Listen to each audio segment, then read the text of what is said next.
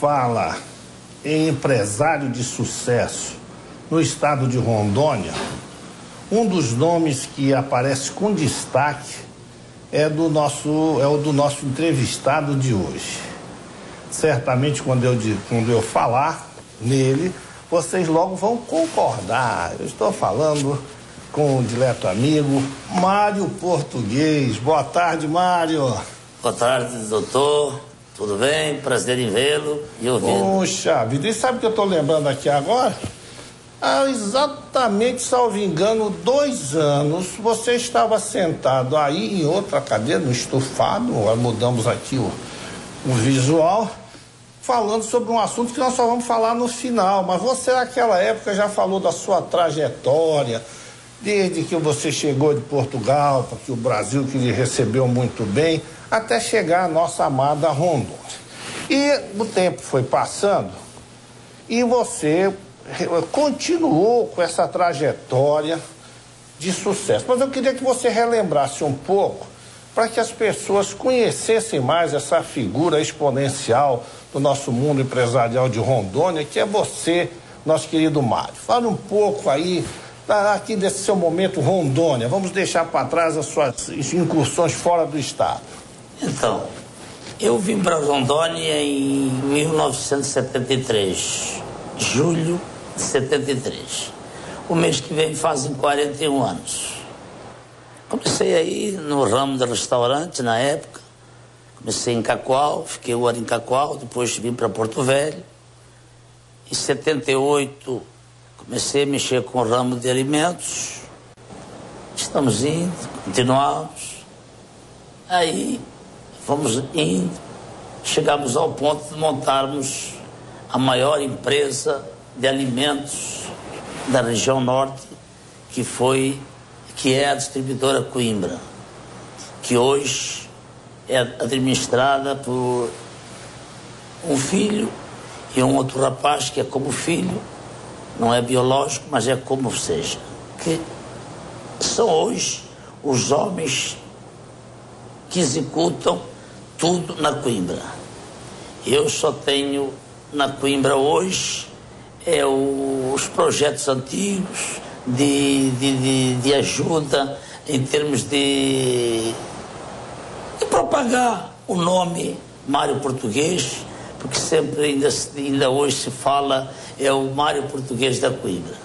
Hoje não tenho mais nada a ver com a Coimbra, a não ser, como eu já disse, o passado, mas é isso aí em termos de comércio. Há Sim, mas anos... no Coimbra, você tudo bem. Mas você, você pela sua família, você já tinha parado de, de andar nessa correria Sim, há muito não, tempo. Lógico. Mas eu fiquei sabendo que você tem negócio de, de soja. Fala isso aí, da soja. Mas, é, mas da... eu há uns anos atrás, quando a, os meninos começaram a tocar a empresa, eu não sou, não tenho, não, não consigo ficar quieto. Eu resolvi entrar no agronegócio.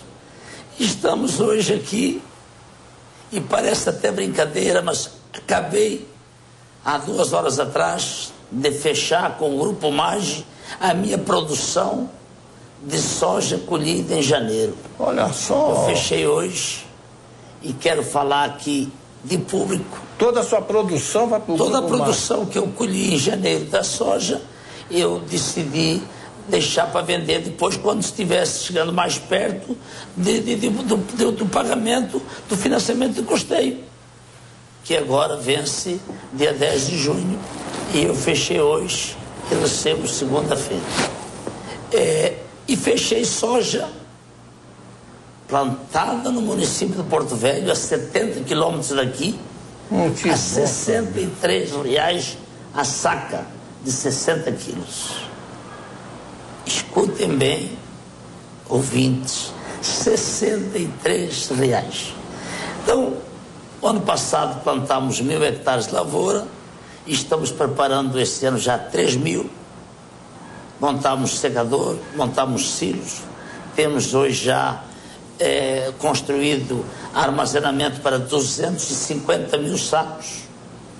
E estamos montando também um dos grandes um dos maiores confinamentos aqui da região de Rondônia, daqui a 70 quilômetros. Tudo pertinho, então. Vamos fechar aqui. boi esse ano ainda. Porque eu não consigo ficar quieto. Mas quem só não, só não sabe disso e não te conhece. E né? é isso. Então eu sou realmente, nasci com espírito de empreendedor e eu só consigo me sentir feliz se eu estiver trabalhando. Pelo que você disse aí, quer dizer, o nosso Pero Vaz de Caminha, o português, escrivão da frota, tinha razão quando ele disse que neste país, em si plantando, tudo dá. Isso trans, transporta diretamente para a nossa amada Rondônia, para a nossa querida Porto Velho, de que eh, se as pessoas tiverem determinação, preparo, realizando trabalhos aqui, tem tudo para dar certo, né? Eu, às, vezes, às vezes eu comento, se a gente for passando ali numa em qualquer lugar e deixar algumas sementes de alguma coisa cair no chão, nasce lá, sempre eu... alguma coisa, se alguém não atrapalhar. É preciso não atrapalhar a Rondônia, né? Eu costumo já... dizer, eu costumo dizer, se os governos não atrapalharem o povo, tudo se consegue produzir. Eu sempre digo que se você jogar na, na, na no, no, no, rejunte de, de, um azulejo é no chão, uma, uma semente, ela nasce. Nasce lá, nasce as coisas. É Quando é eu comecei há dois anos e pouco, falando que eu ia mexer com lavoura, muita gente, você é doido, não sei o que, não sei o que. Eu tenho recebido visitas de empresários do agronegócio do Mato Grosso, como o Garão Maia, como o pessoal do Grupo Mazute, do pessoal da MAGE, enfim, que não acreditam o que estão vendo. Agora mesmo nós vamos começar a colher semana que vem soja da a gente chama safrinha, mas na verdade é a segunda safra. Então veja só, Viriato. Eu comecei a preparar a terra para a safra do ano passado em julho. Setembro, outubro plantei soja e milho. Colhi a soja em janeiro, plantei milho. Colhi o milho, plantei soja. Eu estou colhendo a soja que eu plantei início do ano, depois da colheita do milho. E estou colhendo agora, o mês que vem, milho que foi plantado em março, abril, depois da colheita da soja. Eu vou colher milho agora no mês de julho, que estamos esperando pelas análises, pelas pessoas experientes, de colhermos aí entre 80 a 100 sacos o hectare. Bom, eu não poderia deixar, meu amigo, você que eu conheço a sua história há, décadas, né? Nós nos conhecemos há décadas. Graças a Deus. Nós estávamos ainda ali no pequeno hospital quando você, quando você nos procurou como como paciente, eu como ortopedista, e lá firmamos uma amizade que dura até hoje, certamente durar para sempre, durará para sempre. Agora, eu não poderia, agora vamos falar, nós estamos no ano político, e eu lembrei no início da nossa conversa que há dois anos você esteve aqui, quando me surpreendeu, não só a mim, mas a todos que o conhecem, de repente Mário vai sair candidato a prefeito, que, que, que é coisa? Aí você, você até me disse, que eu iria achar que você está ficando maluco. E, e, na verdade, o que que acontece? É que você, como é um homem, um empresário realizado, não se pode negar isso, empresário realizado, e não eh, já o fator financeiro, como você disse, já não conta mais na sua vida, porque você já alcançou seus objetivos, é aquela coisa sua, interna, de produzir, de fazer, se não para ser feliz precisa fazer acontecer. Né? Isso a gente sabe, isso é próprio dos realizadores, dos empreendedores. Mas no há dois anos você saiu candidato. Que, qual foi a lição que você tirou? Aliás, muito bem sucedido para uma pessoa que dois, três, três meses antes da eleição ninguém imaginava que fosse ser candidato, você saiu com resultado expressivo. Qual a lição que você tirou dessa experiência? Então, vereador, é, na verdade, é, eu sempre digo, quando eu estou às vezes fazendo algum exame aí para fora, que me perguntam onde é que eu operei Joanetes. E eu, eu digo, olha, eu operei no ano de 84 em Porto Velho. E o cara fala, Mas que bem feito foi. E foi na, na talhadeira. Eu, eu, brinco assim, eu brinco assim que foi na talhadeira. Mas bem, há dois anos atrás, quando eu decidi ser candidato a prefeito, foi mais ou menos dia 10, dia 15 de junho, que eu resolvi levar o meu nome para a convenção do dia 30. A Rondônia me deu tudo. Eu estou aqui, eu tenho 52 anos no Brasil e 41 anos da Rondônia. Eu dei tudo, eu tenho uns filhos maravilhosos, eu já curei dois cânceres, enfim. Já foi então, operado várias vezes? Fui operado mais de dez vezes já. e aí eu resolvi, vou ajudar a cidade. Não deu certo, o pessoal não me preferiu. Não, mas peraí, você não, não exagere. É. Prefiro. Você foi a primeira tentativa é. de alguém que não era conhecido e como político. 38 mil votos. E teve que, poxa, 38 mil pessoas e hoje, E hoje, andando por aí, estou sempre é, é, escutando pessoas me abordando, dizendo, seu Mário, como eu me arrependi. Não quero entrar nesse mérito. A minha ideia era dar alguma coisa de mim para a cidade que me deu tudo.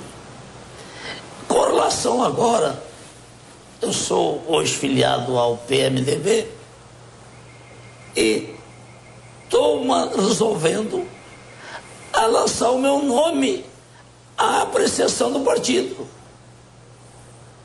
Se o partido achar que eu posso ser candidato, eu vou ser candidato a candidato a deputado estadual. Ah, então você é, está. É, então, na verdade, eu, eu, esse ano eu resolvi de novo fazer o que muitos me falam de loucura. Mas por que isso? Porque eu sempre digo o seguinte: se todas as pessoas que têm boa intenção se omitirem uma determinada tarefa, só vai aparecer aquele aproveitador ou aquele que a intenção dele é se beneficiar só benefício próprio. Então eu resolvi lançar o meu nome à apreciação da convenção do PMDB para candidato a deputado estadual. Eu não faço, não faria nada para ser da Rondônia. Então, estou aí nessa aí, vamos ver. Não, é... mas isso é elogiável até que você não se abateu com algo que não tinha que se abater mesmo. Quando foram 38 mil votos com neófito na política. A gente sabe que todo mundo sempre diz, os experientes uh, na, na, política partidária, eleição, diz que sempre a primeira eleição é apenas uma, uma primeira apresentação, que não, se a pessoa perder nem considera, porque, afinal de contas, não era do. E as pessoas são dadas a pensar que só aqueles que já são políticos de profissão, vamos chamar assim, são os profissionais da política, é que vão eventualmente ganhar a eleição. E tem aquela bobagem de achar, ah, se eu não votar nesses, eu vou perder meu voto, porque é o outro que vai ganhar. O pior ainda, venderem seu voto por tijolos, tijolos, por, por, por promessas, não é? promessas, grande parte mentirosas, não é? que logo depois que pensa em eleição parece que são acometidos de uma amnésia, não, não sabe mais. E, e outra coisa também, o que chama atenção em você, você sabe o seguinte, eu não sou dado, nós, nós temos a mesma linha genética, meus avós, de pai de pai, de mãe, eram portugueses e eles tinham essa característica, eles diziam o que pensavam. Né? Ele é, às vezes contundente, para alguns contundente, porque a sinceridade, para quem não quer escutar a verdade, é contundente.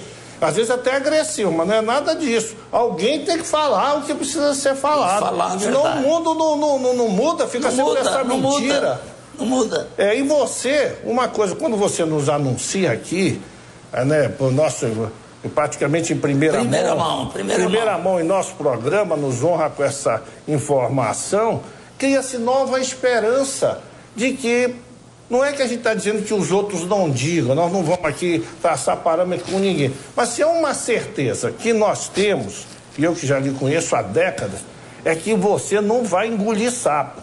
E não. se ofender o povo de Rondônia, se tentar prejudicar, você não vai dar mole naquela tribuna. Porque primeiro que você é uma pessoa que poderia se candidatar até sem partido. Tinha o Joaquim Barbosa, Joaquim Barbosa deu uma declaração de, na sua entrevista à Veja da semana que é a semana que está terminando, dizendo por que, que deveria a pessoa poder se candidatar isoladamente. Sem partido. Sem, sem compromisso com nada, só mesmo com os eleitores, com a comunidade. Então. Mas, meu amigo, então é o seguinte, você vai pleitear isso junto à convenção do seu partido, e tudo indica que você será muito bem recebido. E o que é que você é, pretende fazer como. Porque uma coisa é o executivo, que você é o mestre nisso. E no legislativo, assim, como você pretende se comportar lá? Eu, eu, eu como sou um, um executor nato, eu sou executor, eu sou empreendedor, eu. A minha mulher me questionou, mas amor, tu vai ser, tentar ser candidato a deputado, o que, que tu vai fazer? Vou ajudar o governo a governar melhor. Porque veja só, nós temos aqui uma carência de pessoas interessadas na nossa segurança, na nossa educação, na nossa saúde, na nossa capacitação. Não é só do funcionário, não, vereado. Eu não sou a favor de dar nada. Eu sou a favor de ensinar. Eu sou a favor de mostrar ao pequeno, ao médio produtor, como é que ele pode produzir.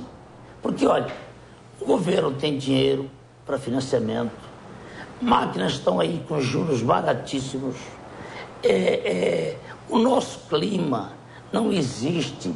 É, é, é você não está não, não, não, não, não tá atento para esse detalhe. Eu disse, e aqueles que entendem, que estão me ouvindo, sabem o que eu quero dizer. Eu estou colhendo milho o mês que vem, colhendo milho no mês de julho. Plantado é, quanto você falou aí? Plantado quando esse milho? Foi plantado em, em março, março, abril. Então, isso é sui generis, porque lá fora não chove mais.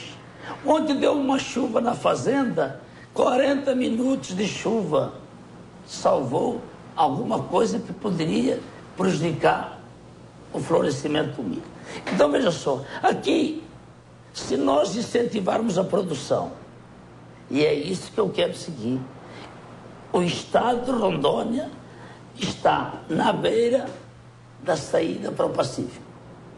Quanto que se diminui a, a, a, o frete para ir para a Ásia? Quando eu disse o preço do soja, é o seguinte: o soja hoje, em Sapezal, está a 59 reais. Em Porto Velho, 63. Olha aí.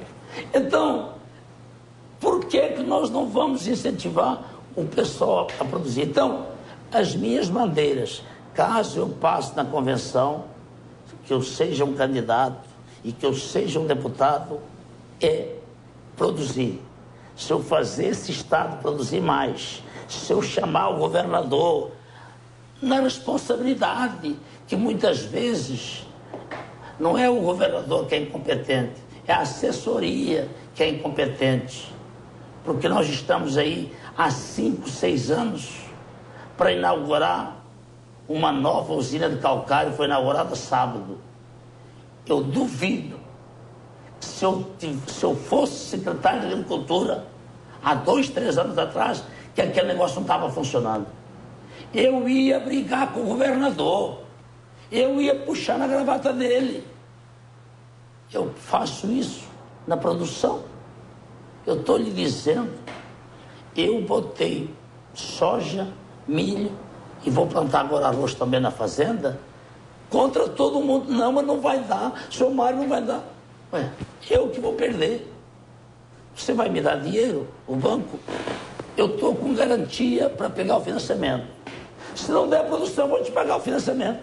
Claro. E pronto. Está aí o resultado. Já tem gente procurando terra. Tem gente procurando terra. Terra no município de Porto Velho.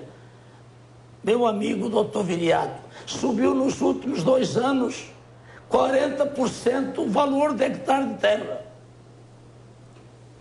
Você produz sem derrubar. Você aumenta a produção sem precisar derrubar é você ter calcário, é você ter adubo e, acima de tudo, tecnologia. é você ter orientação. Contratei agora, há três meses atrás, assessoria do engenheiro agrônomo é Manfred Flottes, ele é da Boviplan. Ele dá assessoria há 35 anos no Brasil e outros estados, outros países, por esse mundo afora. Por sinal, ele fechou a coisa de uns 30 dias, também assessoria com o grupo da Rovema, do Adélio. Ele é, realmente é uma, uma sumidade. E eu trouxe ele para cá, para ele vir aqui duas vezes, dois dias por mês, para ele me dar assessoria, para a gente aumentar a produção de capim, para a gente aumentar a produção, para a terra, porque não é só você jogar a semente, você tem que ver se aquela terra precisa de calcário, se é calcítico, se é dolomítico, se você precisa de gesso, se precisa de fósforo, se precisa disso, precisa daquilo. Temos que ter pessoas competentes para isso. Isso é um café pequeno para o governo fazer. Ora, se nós temos, tivermos na nossa Assembleia pessoas comprometidas com o agronegócio, nós vamos aumentar a nossa produção agrícola, nós vamos melhorar a renda do nosso povo. Isso mesmo, porque essa é a vocação do estado de Rondônia. Essa é a vocação. Tudo pelo tudo que falamos aqui, tudo que as pessoas sabem, essa é a nossa vocação de, de crescimento e desenvolvimento.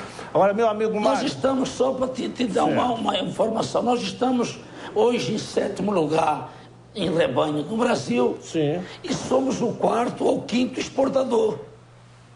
Olha só. Nós somos o sétimo em produção e estamos, eu, eu não, não, posso afirmar, mas é, é quarto ou quinto exportador de carne.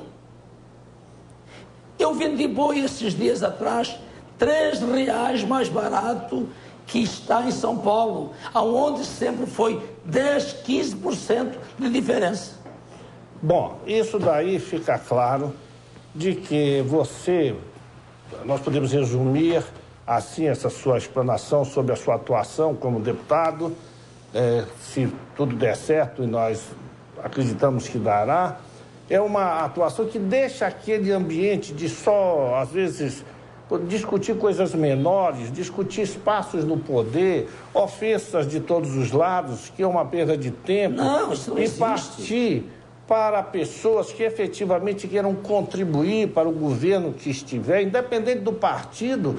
O nosso partido tem que ser Rondônia, o povo de Rondônia, e que possamos, com, com parlamentares, nos moldes do que você expôs aí, colocar, pensar alto, pensar grande.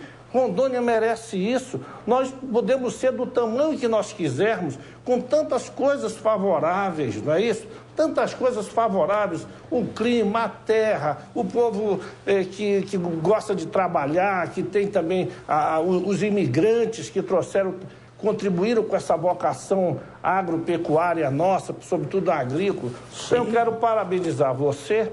Claro que eu gostaria de conversar mais, mas o tempo nosso já está caminhando para o final. E colocar aí as nossas câmeras para suas considerações conclusivas. Olha, eu quero dizer o seguinte Aqueles que ainda não, não tinham, é, não tiveram oportunidade de receber meus agradecimentos na última eleição, eu quero deixar aqui meus agradecimentos pela votação que eu tive e dizer o seguinte: Rondônia é a bola da vez na produção agrícola do Brasil.